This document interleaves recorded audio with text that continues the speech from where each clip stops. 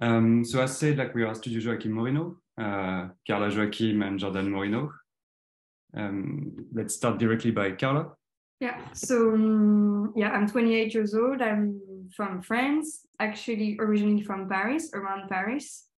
I started studying uh, applied arts in a high school, and then I went to a, um, a school in Paris for like product design. It's a two years, uh, like a bachelor, and then moved to the to the design academy for a four years bachelor um, called Melon Activity.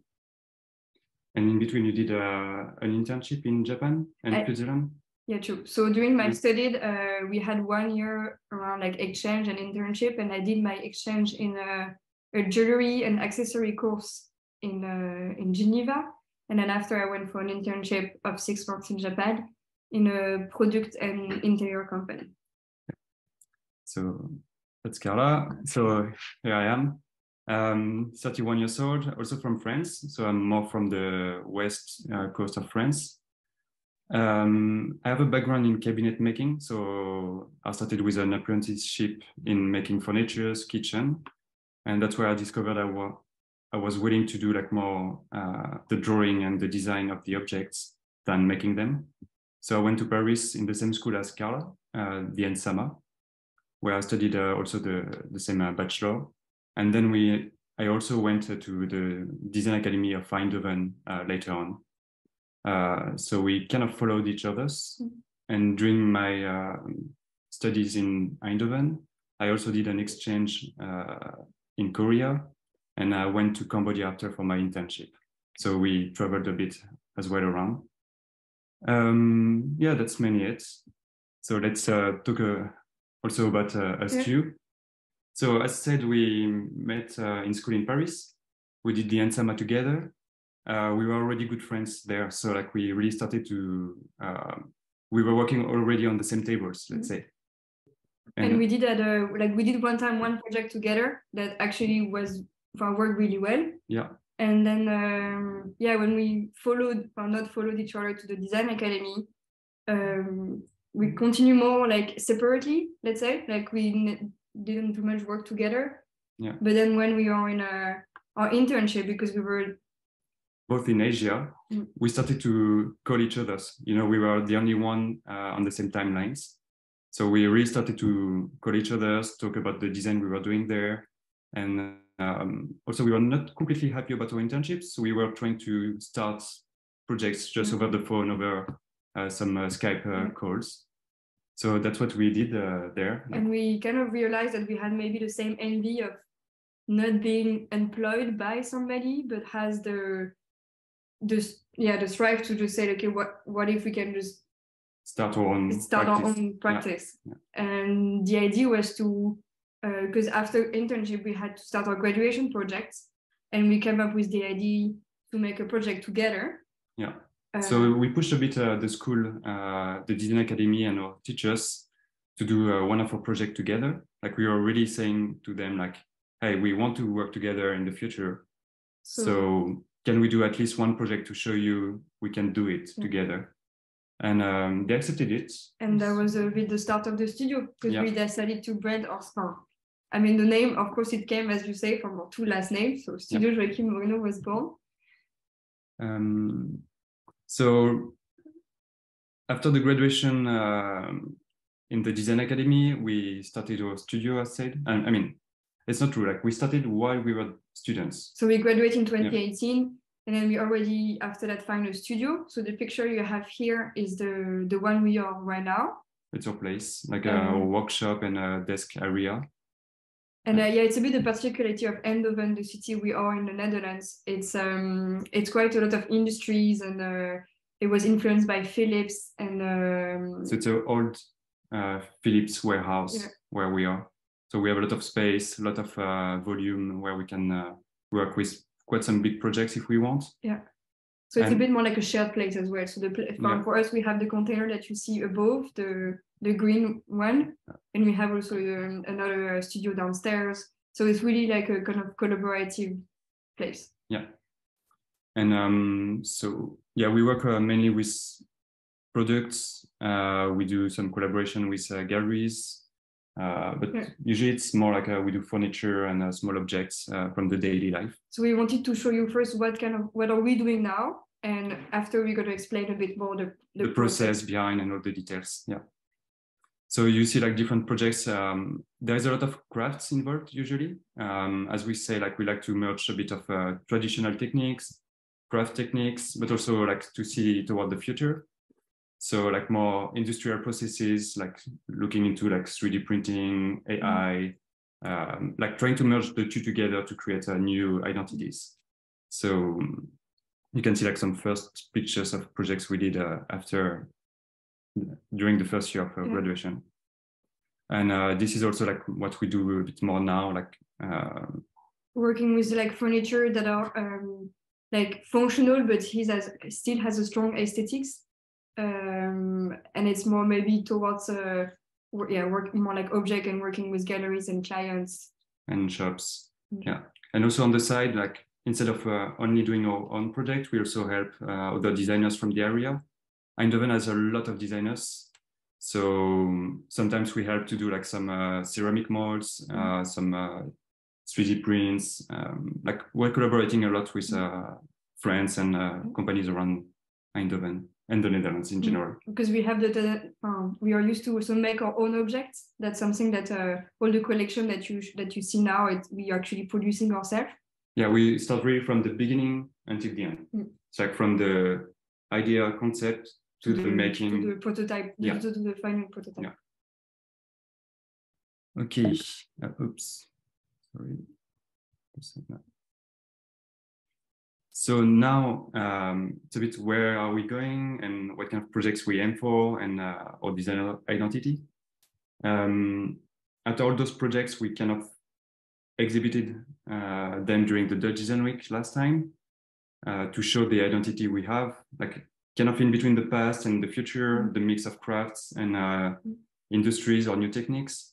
So that's where we are kind of going. But one thing that we really like is um, to travel to meet craftsmen and try to bring new ideas and uh, try to see if we can bring them further or like to help them in their practice, like while learning from them. So, so I think I think we do a lot of uh, different things all together.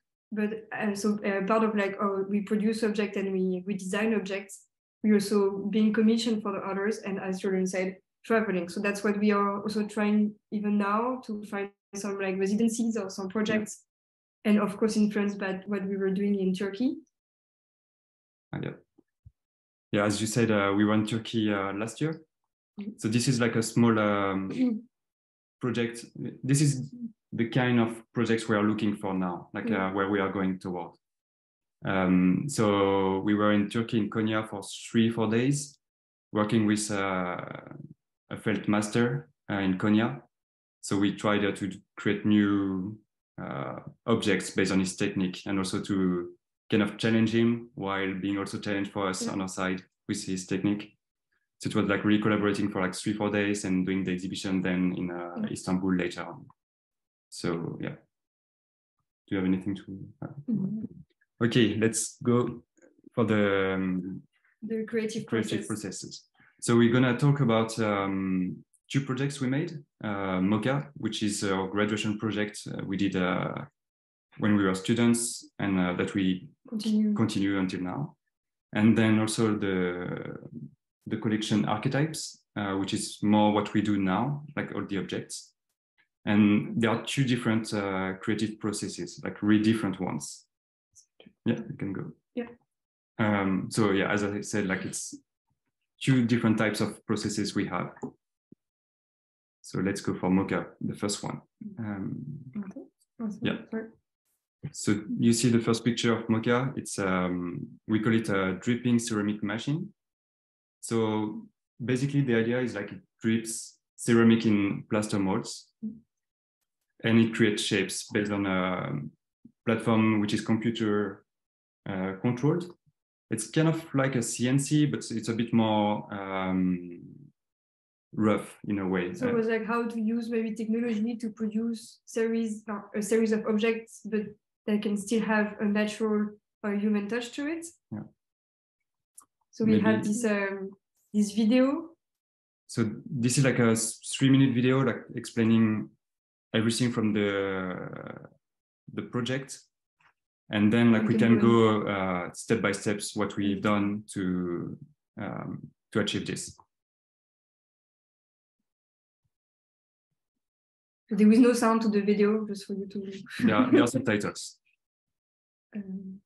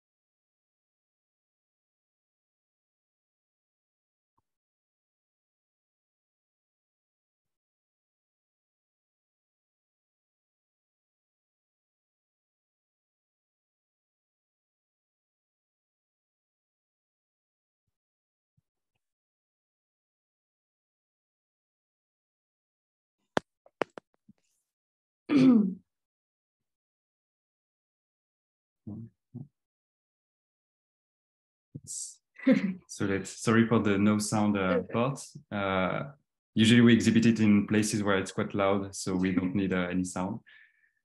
Um, so it's as as you've seen, like it was um, the video of the which explains a bit of everything everything from our graduation project. Um, this was more like the process process on how it works and uh, like all the different paths we had, Mhm. and we also had like many objects next to that. Um, maybe we want to explain you a bit for before like how did we come up with this and um oh, oops, sorry, go back.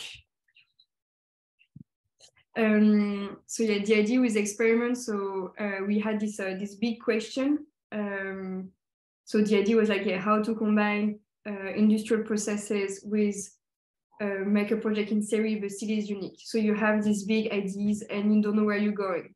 So as Jordan showed so it's like you go quite broad and then you find aspects that are interesting and then you go again a bit more narrow and you focus on the result you find interesting. Yeah. So like the idea is like, in a way, it's not the usual way of doing it, but like just creating quantity, like really having a, a lot of uh, samples, a lot of uh, tests, just without trying uh, to focus on Mm. one of them. Just like creating creating quantity to also create objects that you wouldn't expect at first yourself. we were really in the idea like what can we do with this with this dripping or what what um, what can more what can we do with this technique so we never really like Narrow down. yeah, narrow down we're like okay Yeah. what can we do and then at some point as i said you find some some aspects that are interesting or Yeah. and then you kind of start to focus more on this and then you continue a bit like Yeah. this So yeah, as you said, like you take some of the samples, you Mm. we check them like every time, like okay, those are the ones we find interesting. So we yeah, we chose the, them and then like from those ones, like we start again, like we experiment, we create more and more like Mm. uh, samples from each of those uh, previous samples. So, So like we create quantity, quantity, quantity uh, with better quality every time. So Uh, the idea is also take time. So Yeah. I mean, what you, the result that what you see, it's, it was almost six months uh, project Even more. and even more because we continue after this. Um, and uh, Just trying to. and of this. course we we were not sure where we were we were going with this. So we had just you know the, the main points, but we were we didn't have any pure aesthetic goal or a function or any uh, any kind of thing. Like yeah, it was purely scientific way of uh, working. like how far can we yeah, go with the technique? with the technique. Yeah. So we're going to show you a bit where we came from, the the beginning of it, and then where it's going. Yes. So like the really, really beginning of the project uh, was the idea of mixing. Uh, Yeah. An industrial process, so would be extrusion, uh, injection, uh, like Uh, any kind of industrial process mhm. and to create a natural outcome. That was kind of the main guideline. And um, yeah, it was just like a, a small workshop we did for one week at first. Mm. And we continued uh, with it for the graduation later. So we started with the idea of um, a extruder, because actually Jordan had one for a project, from a previous project. And the idea of the extrusion is like you, you put a, a material or something and it comes out through a nozzle in a like the smallest form. And so we imagine if if you put as you the see now a plate that is turning, we said we could maybe create object like this. Yeah. So we yeah started to like look into all the um, industrial processes we chose this one uh, we started to try samples with different materials. This one was uh, with wax. 'Cause- so we were melting the wax in this uh, metal tube and kind of dripping on a small platform that we were turning by hand. Yeah. just to see like okay can we create samples? Because the idea was like the, the wax technically would because if it goes from slightly liquid to cold, then it could like solidify. um, So, so that this is kind of uh, the first first videos we did. Like uh, it's um it's a motor with a platform and just dripping wax so as you see the we had a trouble to the flow the flow was quite hard to Control. to control.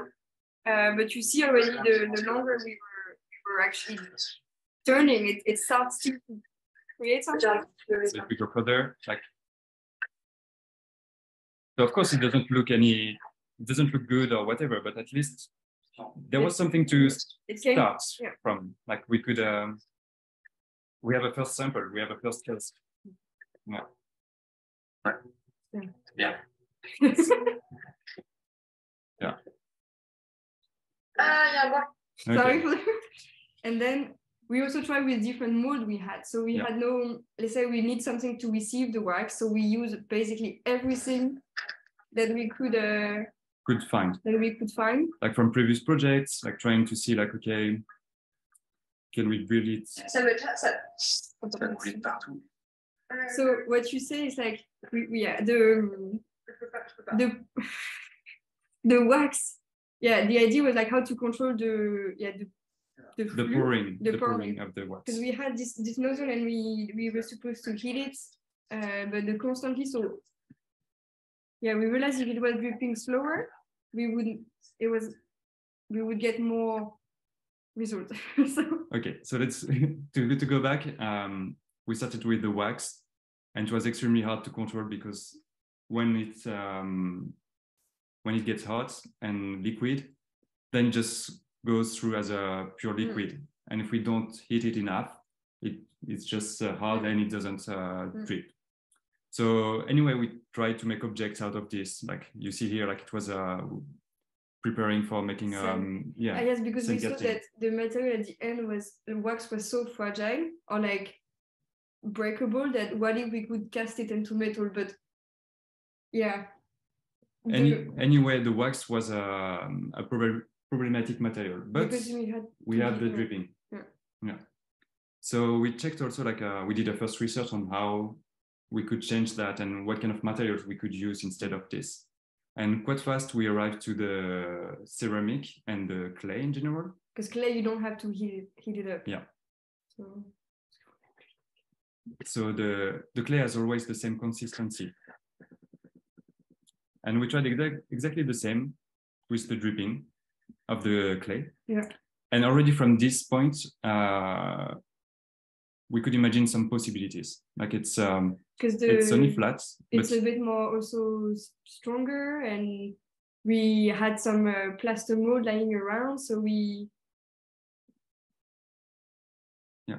so it looks like uh, it's moving by the motor, but sometimes we were doing it by hands. So it Mm. was really like crafty in, in a way, just trying to show the the process to our teachers. so that was a bit what we got uh, when when the when the clay uh, hardens with, a plaster mold Yeah. that's what we got And then fired, and fired it was giving um, this. so then we also were kind of so from when when when, when we saw this we were like okay uh, what is interesting you can see some uh, if we use different colors you can really see the difference you can see a kind of pattern even like um gradients. gradients We could make uh, like some uh, open spaces in some, uh, but this was like just running on one axis, so just Mhm. turning around.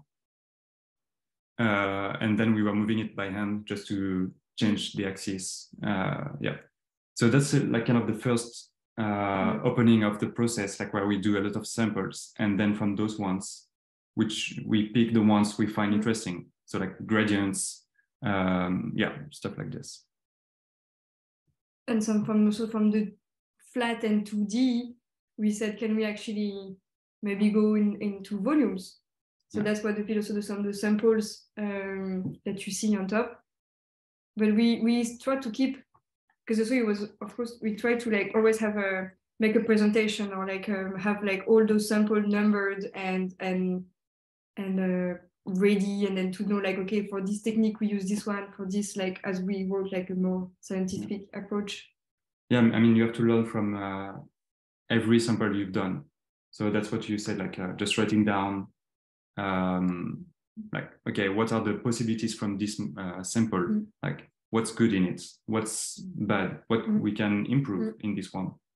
And um, from this kind of lists, we could choose the one we preferred Mm. and uh, start again from this. And uh, since we have we had this kind of scientific approach, it's nice because now we can also show it to you right now. Otherwise, we would have no pictures. Like really, like taking pictures of every steps, every like videos of Mm. everything we've done. Uh, what's really useful for us later on as well. um, so yeah, we were saying like we have our samples and we generate new idea again from this. But the problem is, uh, as you've seen, like the machine was just like a, a motor with a small platform turning, and um, the dripping was a previous project I've done. Uh, so we had to start to improve the machine and the Mm. technique itself to be able to have better samples and better um, outcomes.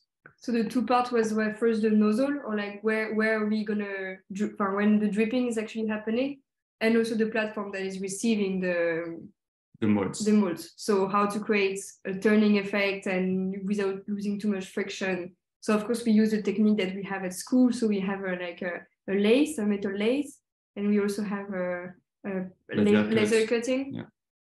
So we started to make um, new generations of machines, let's say, slowly, but um, trying to improve the, our technique.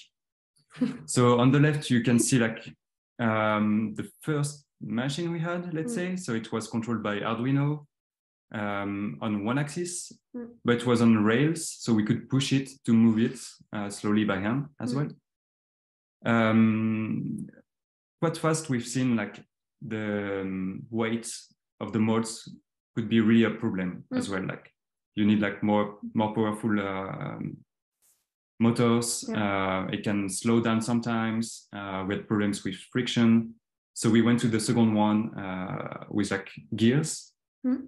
Um, but So then we can like since it was even like more like craft research, then we went into more almost technology. How which motor should we find to make it uh, turn faster? Mm. Like which which um Torques. with torques like it became a bit more like digital Yeah. research Yeah. in this case. And so we had the two paths, like Yeah. researching the machine, how to improve it, and researching the the clay and the samples. Yeah. So Yeah. these two paths were like going together on Mm. the sides. so it was a big back and forth. So like uh, Yeah. which code or how Arduino this computer program can we use to actually like go more or less faster. Yeah. So that was also what we like. So we could do bit of both. Um, yeah, those machines like at least they could help us to improve the first samples. Um, so you Mm. So see, that was a bit the setup Yeah. that we that we got. Yeah. Um, I don't know if you see it, but there is a second motor uh, on the right of the machine. Mm. So this was like the axis we were doing by hand before. So this one was moving the platform now. so it's like turning, and one is supposed to move also in the Yeah. in this direction. So um, this was kind of mid midpoint of the project. Mm. Like we had a um, machine working pretty well, uh, some objects uh, that we could, uh, some samples we could do. Uh, yeah, that was the video. I'm going quite fast. Um, So yeah, that's exactly the dripping. The nozzle we still had it. Yeah. Uh, the control of the of the fluid that was it. Yeah. So yeah, we. So you see the gears, the. Yeah. It goes faster and making gears with um, laser cut is not the best. like it doesn't cut right, and you have issues. So you see, like nothing is straight, and uh, But we already see for now, for example, like the mathematical a bit part of it again. Like the the dripping was kind of getting more constant. Yeah. If if we wanted. we could do like some uh, beginning of volumes Mm. as well. Like the samples could start to grow Yeah. in a way. Um, yeah. So since we improved the machine, yeah, as we say, like we can improve the samples. That's where we started to do like pattern research, larger shapes. Mm. We made a, a huge series of molds to to see also the yeah Because we realized the difference of the angle of the mold would create a different pattern. Hmm. So as you see, the more flat they are, it gets more dots. But if you go a bit more broader, then we get more line. Yeah. And uh, we wanted to see what would be the, the range of patterns we could do with this uh, with these techniques. And um, also you see it in the bottom uh, of the picture, there is some textures in the in the ceramic. And that's something we didn't um, expect at first, but we found out really interesting. So we also uh, dived into it later on in the Yeah. in the project. Um, so as I said, like taking pictures of the process, uh, showing all the samples uh, is quite uh, useful. So we had the um, graphic part that we really researched, and also like trying to make uh, more volume on the on the Yeah. left. because the idea was we, we when we found out about the graphics we were it started to make lines a little bit of a structure so then our, our thinking was what if we remove the slip casting part so it means we keep just the pattern can we actually make a structure that would stand by itself Quite fragile, but so what At you see what you see on the left is trying to drip in in a larger mold and how how big and how far can we go um, but then again, the machine is not uh, strong enough. Like Yeah. creating a molds of like uh, I don't know three, four, five, ten kilograms Yeah. uh, makes the motor like just not working, and uh, we had to improve once again uh, the machine. So we went to like uh, we laser cut uh, metal plates like with bearings. Um, like we improved uh, the machine once again like Mm. to another level, which allowed us to to have To more move, like, precise yeah. also to be more precise, to have like huge molds um, Yeah. that we could test. And then it means also like bigger samples. Yeah. Um, so, So that's, that's- yeah, Sorry, ahead. no that's the actual the final not the final but the machine that's was shown uh, Yeah. for the graduation. and we are still using now. Yeah. Uh, so as you say, like it's the same principle. You have uh, now uh, the nozzle with a, a container that drips, so the liquid clay on the moving uh, platform. So the the mold you can change it, and then it's moving in the in the other in, in the other axis. Yeah. And we had a space under to uh, store and um, it's also about the presentation of your uh, research. Yeah. Like it's nice, like for example, if you do uh, samples always the same sizes Yeah. or like always the, I mean that you, in a scientific way again, Yeah. like uh, just to show it. Uh, yeah, that's also something I said. Like we first presenting our research was quite quite important because first it would help to communicate our idea, Yeah. but also to um, to give a bit more clear view. And as you said, like if you have like the same size samples, is the machine also look good. Yeah. look good even if it's functional? That was something also that we wanted to keep Yeah. in mind. And also like the quantity of samples makes it strong in a way when you exhibit. Especially when you do research. Um, so yeah so that's the more open structure experiments so we made really different molds and uh, we had a lot of of course trial and errors because something we realized like since we are not ceramists the type of clay that we were using um we change the outcomes every time. outcome. so in ceramics uh, you can have for example porcelain earthenware and stoneware so that's the basic you can find in a shop and those three has completely different Outcomes. Yeah. outcomes So like shapes in a porcelain would completely melt. Yeah, so you see the one that like completely Yeah. And and then earthenware would stay uh, quite strong. Stoneware would melt as well. Yeah. Um, so based on the different samples we would do, like Mm. for example, the graphics, we would do it in porcelain, Mhm. and the open structure we would do it in um, earthenware. Mm. So it's also learning for us. Like uh, we were not ceramists, but then we Yeah. had to learn all those steps to achieve what we were trying to do. Mm. Um, so that's kind of the Yeah. final pieces we've done for the open structures with earthenware. so we we actually graduated with so none of the we, don't have an end product. So we wanted to show that with the techniques we found, that's how far we can go, and for sure we can go further. Uh, so yeah, now we can create self-supporting structure which are really fragile. which are really fragile made out of clay. Yeah, and it's kind of a process no one would have thought about Mm. uh, beforehand because w- even for us, we didn't know we were going Yeah. towards this. It's just like the path we Yeah. research brought us there. But maybe if we just have, would have changed like one path at the beginning, Mm. we would be somewhere else. Um, so I was talking also about textures before. Uh, yeah, this is like bigger samples of textures. So just dripping with, um, Yeah. uh, sorry, because we realized, for example, when, when we drip, we know we saw with the dots, we realize if you turn the plate upside down with porcelain, you can, it's, it's actually such a thin material, so you can see the dots on the opposite. Yeah. And then you can, we were not at all expecting this. And since the machine improved, we can, we, we managed to get a really mathematical pattern, like Yeah. every line, and then we would turn it, goes exactly the same size centimeter.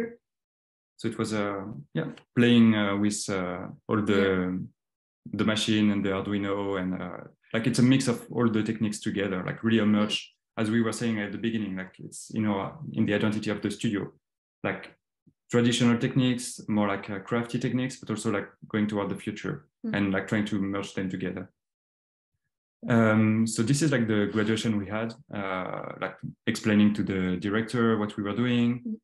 Um, on the right, you have some uh, cups and bowls.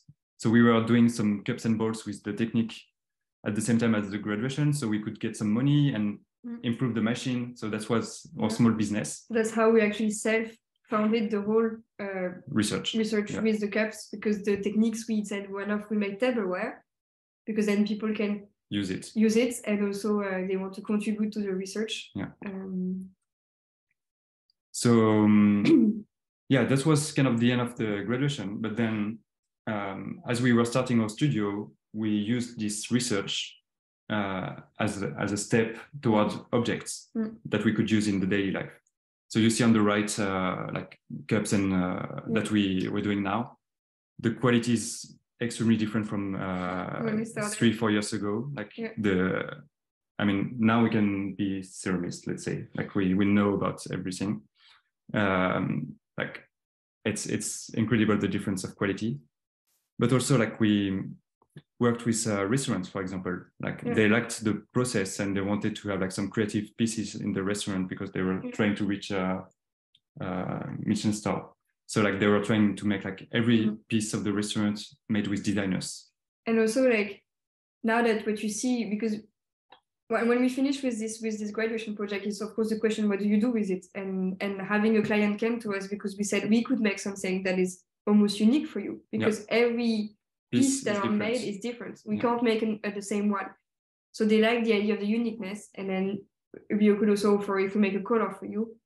So that was a bit so this how- was our first client yeah. Like so how we- to use the technique we invented to another purpose. That, Yeah. that was uh, that was quite interesting for us. And that's why the caps are still working so well is because they are unique and they yeah. witness and they kind of showcase the techniques quite well every piece is different. Um, and forwards, like we also uh, worked a bit more with uh, textures to make like concept uh, of uh, foodwares. Mm. Um, yeah, just trying to bring more uh, a product, uh, um, more products in our research. and we realized like the, the texture could really go maybe with a because porcelain of course is a food uh, food safe uh, material Yeah. So then if we can create the idea like with the line and we can maybe delimitate on the plates The food could play with the Yeah. textures, and uh, you bring a new purpose to the plates. Mm. Um, and so now we continue to do all of these things. Like we sometimes do like new collections, like new colors. Uh, we try new gradients, uh, plates, uh, all these kind of things.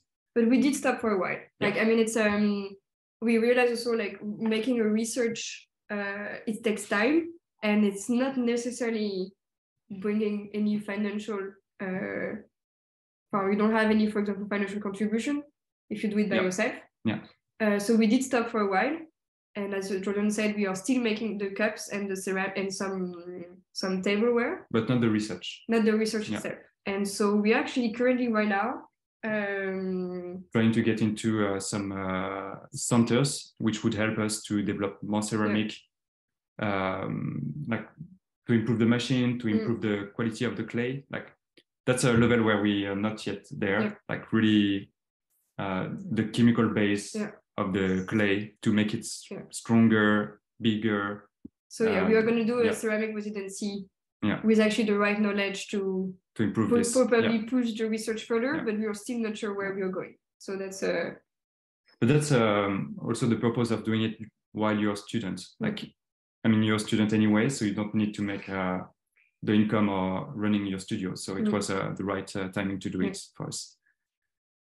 Um, yeah, so that was Mocha. um, like a large research that we like to show every time uh, that we still yeah produce as we were saying. Uh, it brought us also a lot of other clients later on because people were interested by the um, research and the outcomes. And uh, they called us a lot for uh, ceramic projects Yeah. in the end. So we did um, residencies uh, where we were making uh, other ceramics, uh, exhibitions. Uh, yeah, several exhibitions. Like we went to Milan, uh, like Right. in Switzerland and everything. And people started to call us only for ceramics, which is not the goal of the studio. We- are designers in general. So we wanted to, um, I mean, It was during COVID also. Like just to back also go back on the context and the timeline. Uh, we were doing Mocha, you know, 2018, 2019, and then and then COVID happened, and and we, yeah, we really had this moment of freeze, and we had more time. we had more time, and then we were thinking, okay, what do we want as a studio? What do we want to show and say that's that's made by Studio Joachim Morineau? Yeah. And since people were calling us only for ceramics, we were like, okay, we have to break the image Hmm. and show like Something as designers something different different Yeah. to to broad um to have to have a, like a like larger uh, base of products and uh, and that's where like the archetype collection uh, was born. So we're gonna just show you first the results, just to show you the. I know. I'm gonna talk uh, quite fast uh, about Yeah, the yeah, process. sorry. So this was like more like completely different process from the first one, as we were saying. Um, this is like really focus based, goal based. Um, Yeah, our objectives was Yeah. to make a collection. furniture collection. Yeah, that was the goal. Like we know it already from the beginning. Yeah. We want uh, four, five objects, Yeah. um, and bigger, different from what we were doing, different materials. Yeah, maybe So- that go faster also. Yeah. So time efficient. So Yeah. So the idea was like to really have like this large of- objective of Mm. a collection. Then like we made some precise goal, like kind of making a box with a lot of guidelines. yeah, And- like like if you're a client, so look at you and say, I want this and this and this. We were doing the same process. Yeah. quarter. So within this box, we can really research and be creative. Mm. But at least we have this box already, and it's already set. So we don't have to research what we want to do. And so, so from this box, then we open again and Like we what do are like the creative research. Yeah. possibility within this box, with what, what the universe we created. and then we have the objects and improvements and you go back a bit um yeah so as we were saying like it was during covid uh, we had more time. We were like okay we want to do a collection. We want four five objects. Let's find the subject. Let's Mm. do our own guidelines. So i'm just showing quite fast uh, what is the collection now. And um, it's like really metal and uh, so the yeah, So the guidelines was like to show another vision, uh, bigger objects, more interior and architectural, because we want also to, yeah, like we had only small objects before. Mm. So we wanted people to call us for like bigger objects. because you know if you choose furniture, for example, that you maybe call more to make furniture, and and so that was Yeah. a bit the idea. And as we were saying before, um, in our identity, we like to merge two worlds. So before it was like kind of crafts and technology. Yeah. Like the idea of uh, the past and the future. So this is the same, like looking into the past with techniques from the present or future. Mm. And also the fact also influenced by we are in Eindhoven, which is also a really industrial area. Yeah. So we have a lot of like Industries, manufacturers and yeah. industries and techniques, and we wanted to focus on a collection.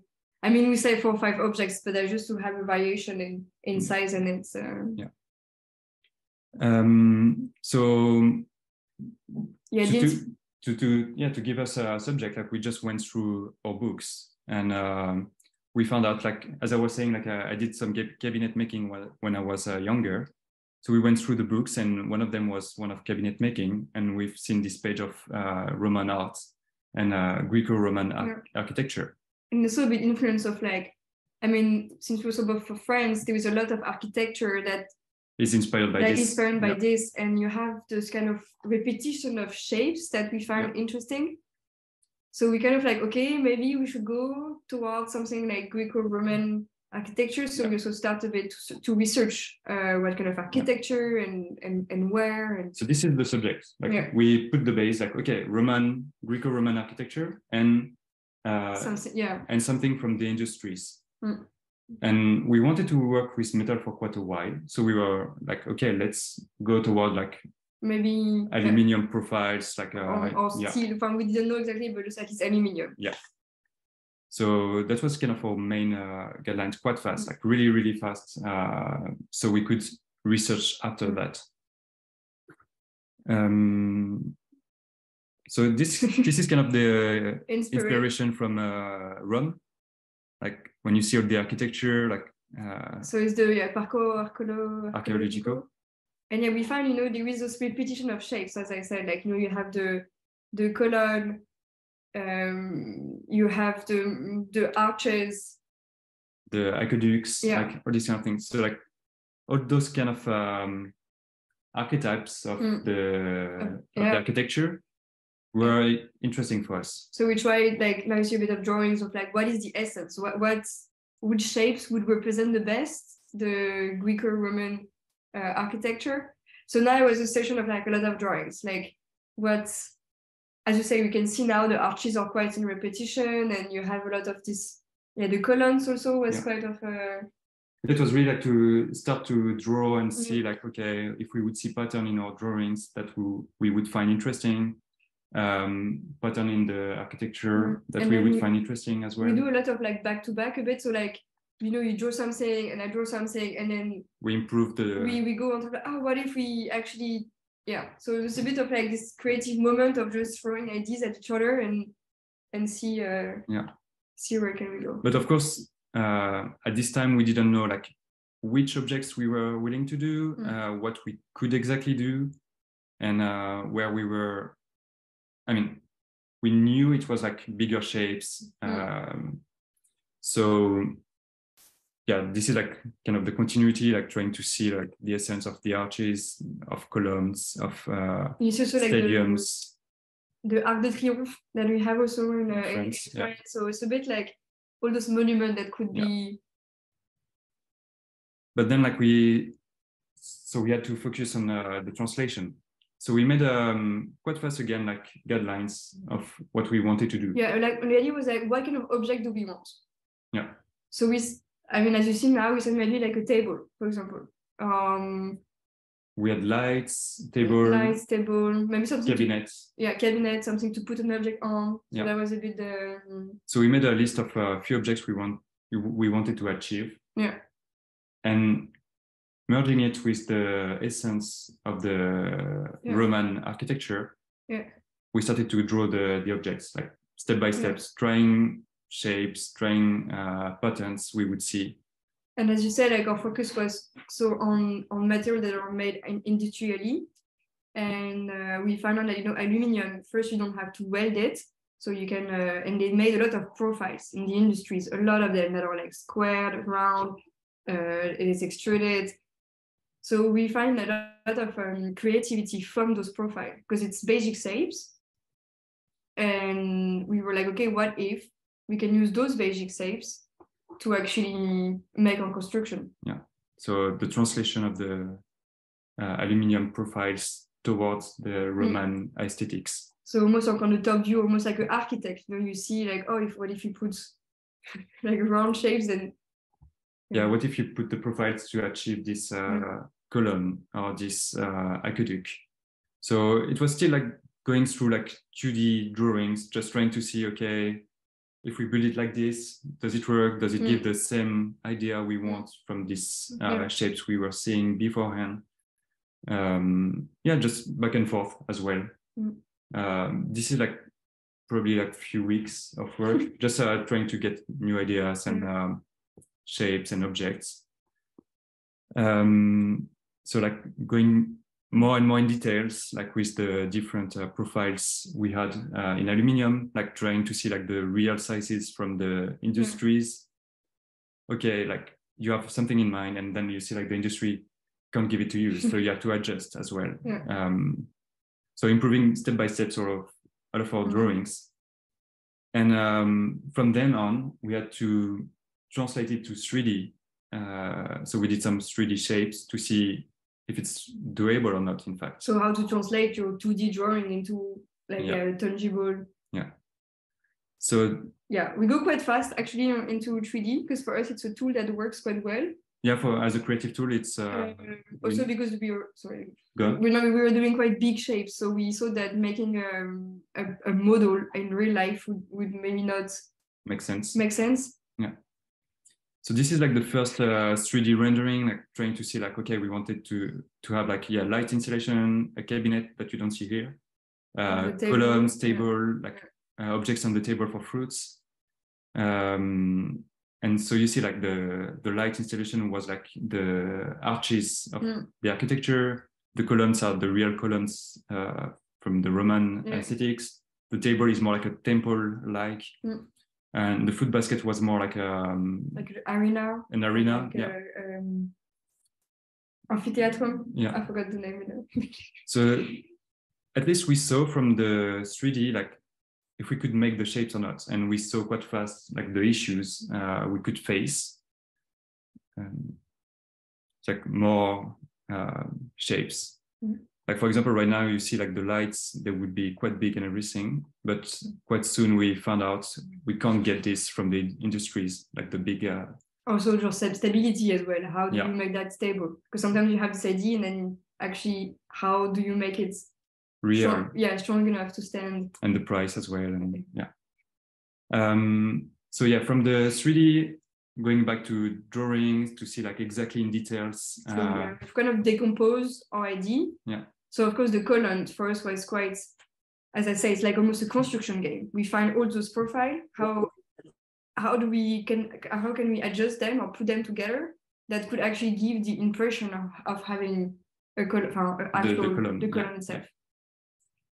um So yeah, we as you see, we are quite precise also because aluminium. So as I said, we don't weld it. So we were on the base of uh, using screws. Yeah. It was also the idea of like we want to be sure that we can dismantle it, or if there is, if we want to change it, we can. Yeah. And also to make the parts easier re- recyclable. yeah Yeah the idea is like we we don't really like um to make objects which mix like really the Yeah. two materials like glued together Yeah. we like to have the possibility to fix it or to Recycle it. yeah to recycle it or to make it last long as well And aluminium, we did also like the um, this aesthetic was quite really industrial, but still you don't have to over process it, enfin, over finish it to have a good you Good finish, have A good finish. Mm. And it was quite light also because the idea also if you use st- steel alloy in profile, you the whole piece would be like heavy super heavy. Yeah. So yeah, more research drawings, uh, more 3D renderings to to make the the objects uh, real in Mm. our yeah in our uh, computers, and uh, more 3D translation after. Um, Because of course before you actually start to make the real prototypes, we wanted to make sure that everything yeah. works well. like the shapes are the shapes are actually like giving the right um, proportion and uh, Like the view would be nice. yeah. Like um, everything connect together where because yeah, it's quite a big pieces. So if you fail, like if if everything arrives and then you can't make it, uh, yeah so we wanted to make sure yeah before ordering or doing any So also test of different finish we could uh, Mm. think about. Um, because the uh, uh, aluminium one of the nice uh, aspects is like you could anodize it so it, it's a technique when you put the, the pieces in a bath and then uh, it gives you can have different color Yeah. uh, still keeping the bit industrial look of the aluminium Yeah.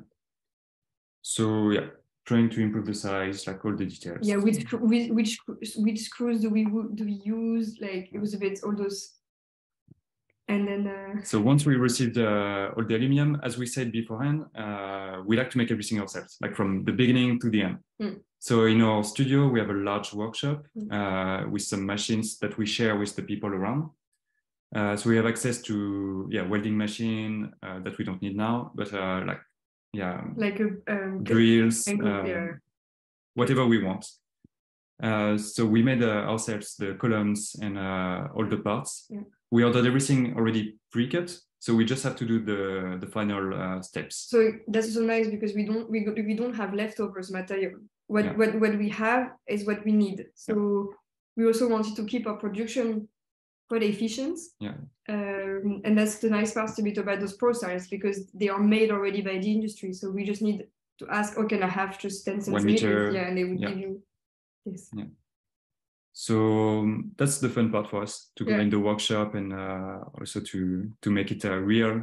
Also to see from your renderings and your drawings I mean, it's translating in real shapes and Mm. it's exactly as you thought about it. Mm. And that's the great part.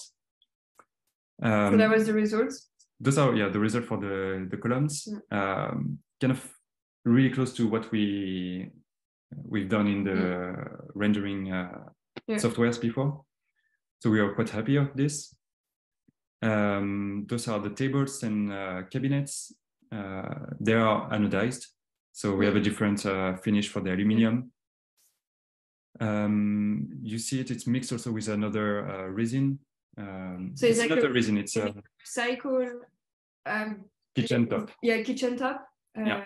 So we also because to break a bit down the cold Aluminium, aluminium, yeah. phase.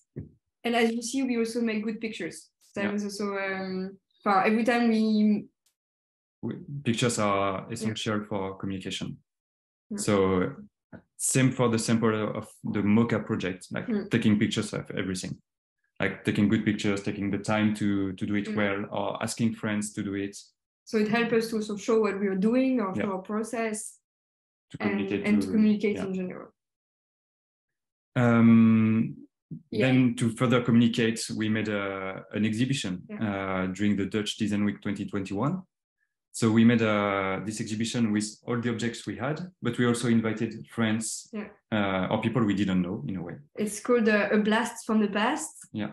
So the idea was like Jordan said, we find designers that uh, had Match. also Much the subject. yeah had also the same identity so you see a bit like the the white uh, um, uh, bust or like half half shapes are also made by a, an artist in paris and yeah it was a bit like how can we all together make The subject stronger. Yeah, the subject stronger so it was how can pieces can interact Yeah. with each other and that's our workspace Yeah. also so it, it is It was clean. it was clean but that's the workspace Yeah. And um, also the fact of showing it during an exhibition, we see quite fast uh, the feedbacks. Mm. All of those pieces are the first prototypes. Mm. So we see what works, uh, what people find interesting, um, what are the issues. Uh, also, like it's 10 days, so you see also uh, if the light works well. Um, Mm. Yeah. So it's it's good uh, feedbacks for us to see uh, all of Yeah. our pieces in uh, Mm. in this uh, exhibition. But for example, we don't see that the, the light, for example, we realized we had to put a bottom plate. Yeah. Because it's it wasn't the thing like, oh, you want it just by itself, but it doesn't stand. So we, if you put a bottom plate, then it, it, it brings more stability. Yeah. All those kind of detail. You have to. So yeah, we uh, we had a lot of good prototypes, uh, and we improved them uh, further after after this. Um, also, like there were a lot of big objects uh, which are which were asked a lot um, For, for exhibitions. or publications. Yeah, for publications, for, for pictures, but it's not what uh, is being sold in the end. Yeah. Like people were willing to have like smaller pieces of the lights.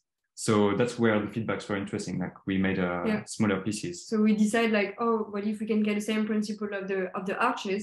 Like if we go back, a- the arches, Yeah, we had not the big one, we made a medium one, and then the small one. we said, okay, in the same principle, we could have something smaller. Then yeah, people could take home. So this is kind of our go-to now object as well. yeah. So Like, uh, I mean, of nights happen also through like 2021, 22, and now. Um, like the lamp now is available in, in two versions. So we have a, a warm light and a cold light. Yeah. And we every time improve tiny things. So you put a name under, you change the Yeah. some like the neon, depending what you find on the company. Yeah. So we spend a lot of time, like actually quite fast designing the project itself. But now- making making it good is the longest part. Yeah. Like to make sure that it's like user proof you know that that like people really use it well and then uh, Yeah. and also you have to have like the best quality in the end. Like it's so it's prototyping, Mm. doing the object, improving, prototyping. Like so now we are in a phase that since we produce we prototype everything ourselves we do small batch uh, small batch um and then we sell them ourselves or with galleries. or with galleries Yeah, But also we going to work uh, with more with bigger industries Mm. that we will sell it uh, uh, on their own. Mm. That's um, the next part, let's say. Um, yeah of course we're always inspired by uh, you know archetype and what can we do and how this profile yeah, so on the same subject, we made Yeah. more prototypes last year. So just to to give us like um, new ideas as well. Yeah. So like we went a bit more into mirrors. Um, how to how the profile we can use to also create those still like a bit reference to the Greco-Roman architecture. Yeah. And this was like the last exhibition uh, during the Dutch Design Week uh, 2022, um, where we merged all the projects we've done. So like the ceramics, uh, the new mirrors, the previous collection of archetypes, um, trying to show our identity as designers. Because yeah. we realize sometimes a lot of people ask us like, what is the relation between ceramics and metal, you know, for the MoCA and archetype. But for us, it was quite clear, but we found it important to repeat it again and then yeah. say that, yeah, we do merge past and uh, future and, and different things that would come together. Yeah. So that's kind of our last steps. Um, yeah, the question is about the future now. Um, we kind of focus on improving all of those pieces and making yeah. it more like uh, accessible to the to a larger public. So as we say, like we work with galleries uh, to sell them, but we also try to work with uh, some larger producers, yeah. so to have like better prices and um, the quality would be different than what we do ourselves. So it would be to uh, just to say like so it would be like how to translate this object that we produce ourselves into a mass, mass produced yeah. object that we can uh, sell with a, yeah. a, shop. But also like um, so improving a lot of those objects and searching for like a new project related to mm. crafts and uh, technology. So well. now we also work a lot sometimes with galleries and they have different theme and they have different uh, project ID. Yeah. So what from what way from our identity and the base we created now, we try to get more projects uh, on the same ID. Yeah. But also we search for ourselves different, as I say, like residency, and so it's a bit part of the. Yes. Um, I think this is the end. Yes. So yes. Thank you. We didn't make it too long. Yeah. um, we might have gone quite fast on some parts. Uh, but please, if you have any questions, yeah. Uh, we can go back on what any subject. Feel free to to ask anything. Uh, we know so much of projects that sometimes we forget some parts. Yeah. Uh, that's also the hard part sometimes to communicate uh, to new people. like you know so much what you've done yeah. that you forget where it's coming from or these kind of things. So yeah, thank you. Maybe. Yeah. If Naz, you want to take over or uh, th thank you so much uh, for sharing uh, your dirty design process. Uh, very, very open-hearted, let's say.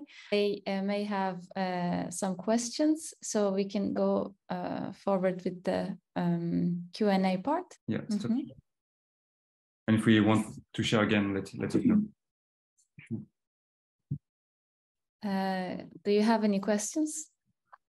I actually don't, but I know them from our second year project, I was uh, designing for their uh, MoCA uh, project an interior place. Yeah. Was, did, did you contact us? I think I remember. Yes, I, I remember. Like, uh, yeah, like the interior, and uh, but that's how we. I mean, that's why now we communicate with. Yeah. like I remember, like tell us. So th thank you. It's it's. Yes, you're the pin pin pin connection, Dilara. Thank you so much. I didn't know that. Thank you. yeah. It was amazing to hear from your uh, mouth in the first uh, hand uh, about your presentation. Thank you for Thanks. coming. I have a few questions, but uh, I want to hear uh, theirs first. Don't be shy. We are. no. Like, uh, yeah, if it's even if it's about the studio in general, um, yeah process or like yeah we are we are open to to share.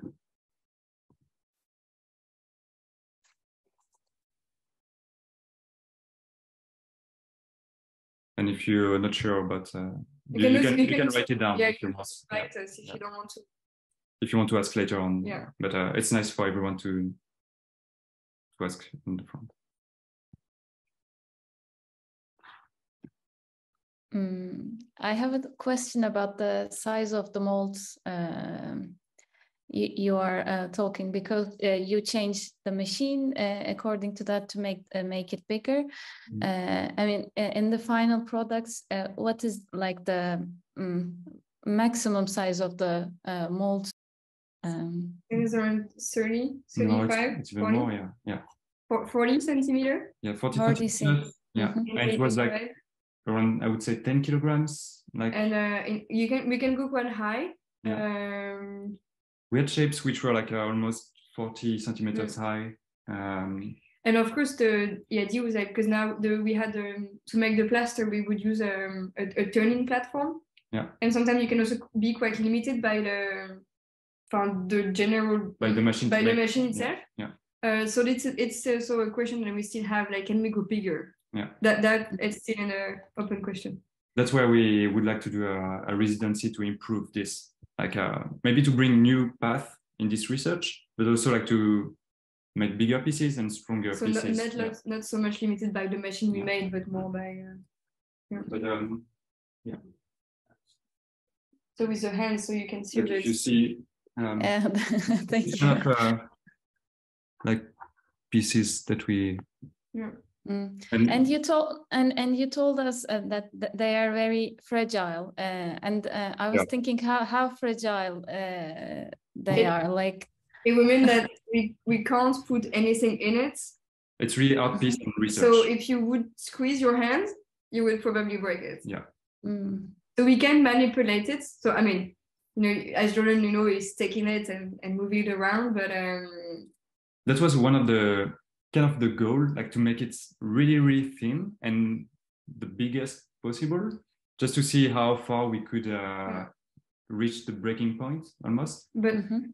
we were still quite limited, as you say, with the technique, like because the idea was to make it stronger stronger, we would have to drip quite long. So Yeah. you, you know the mold and it's dripping for at least this one is almost 35 minutes on Yeah. the same location. Yeah. Tu peux le répéter?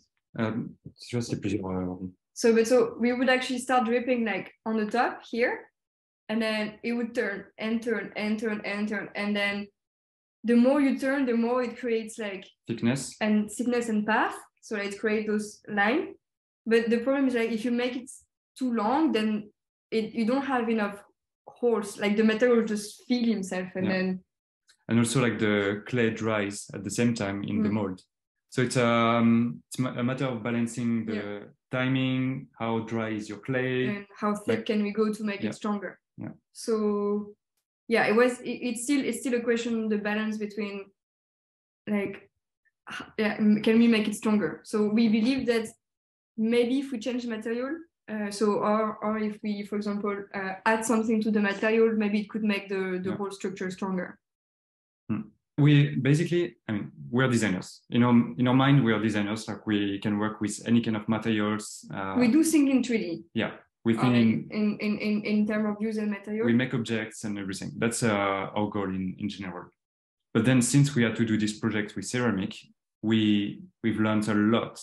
And like every week we would improve uh, our knowledge. So you dive into it in order to achieve your goal. So Yeah. at the end at the end yes you know maybe as much as some ceramists and we made our research as much as scientific. Yeah, but it's not our uh, core uh, identity in our minds I think we now Yeah. we've reached a point where our knowledge is is is as far as we, we need someone else now we outside yeah, we would need someone else Yeah. from the outside that has really deeper knowledge but we also quite like this in our identity. We we when we find a subject that we find interesting, we just dive we just dive Yeah. into it Yeah. till the moment that we think okay we reach as much as internet and everybody can teach me. Yeah. So it would be interesting to have professionals like uh, professionals that would um, masters yeah Yeah. but uh, for example in the ceramic um, at the beginning we didn't even know like the differences in between uh, earthenware and uh, porcelain Yeah. and now we can do like um, the balance with uh, our own glazings and like all the chemical details to get the colors and uh, We, we also had at, at in our school uh, great workshop and guidance. Yeah. Um, that's also why Design Academy and the school we were in uh, focus uh, was focused a lot on material, and we had a lot of workshops. So like metal workshop, wood workshops, ceramic workshops. So we also had the opportunity to test Yeah. test here. but um yeah it's like learning still learning and uh, improving like every two weeks when we do like new pieces we encounter a new not, not an issue but uh, it's like something is surprising every time and we're like oh okay we have to learn this. Like uh, why my glazing is not working this time? Like i did exactly the same as before. But um maybe we can just be ceramic specialists. We know we, we know ceramics like we make ceramics uh, but uh, but not call ourselves expert would be uh, no there are, there is there are people who are better yeah. for sure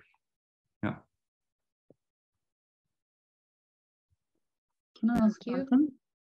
yes Uh, can you, since they are so delicate, can you use your broken pieces again and again uh, with crunching them and uh, adding water or something like that? Or uh, are they go to waste every time? Or can you create something new with it? So um, clay, if it's not fired, you can use it uh, forever. Like um, I mean, forever. Yeah, it's let's say if it's just dripping and it's a kind of uh, fail, we just mix it with water again, or like with some uh, water glass or uh, different materials, and then we can get uh, the clay back and use it again. So there is almost no waste. Instead of if you mix So- it with plaster and then you have like so the one we show you now the the shapes if we break it now then we can't use it. then we can't use it because the problem is so you know when you see clay it's uh, it's almost like it goes from liquid to a bit like uh, this Dry. modeling clay Yeah. and it's mixed with water as soon as soon as we fire it so we put it into like high temperature so we go almost up to 1000 degrees Yeah. that moment it remove all the um, all the water from it and it gets into a solid shapes Then we can't do anything anymore after. so there is actually there is still company that you know you could break it Yeah. you could break it and make it super fine and probably we use it again but but this we can do but like from the clay not fired yes we use it again and again and again that i mean it's it's important also for us like uh, Yeah. you know for example when we make cups um, when we get the cup out we don't just have the cup we have also like a small ring around so we cut it we put it back in water and we mix it again that we're gonna Yeah. We're gonna use it again afterwards so uh, I, I think ceramic are quite uh, sustainable in general Yeah. maybe not the plaster molds and uh, some chemicals uh, which are Mm. used but uh, otherwise the clay itself you can use it forever so that's why when we were dripping a structure and then we would take it out and it would break then we can just use then it we again can just use Yeah. it again Okay, thank you.